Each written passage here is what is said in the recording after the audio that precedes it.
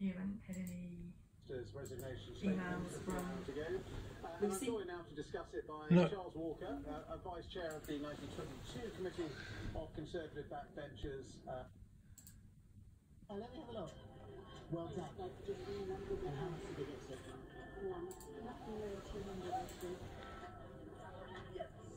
Hmm? I'm going to give you a kiss. Oh, brilliant.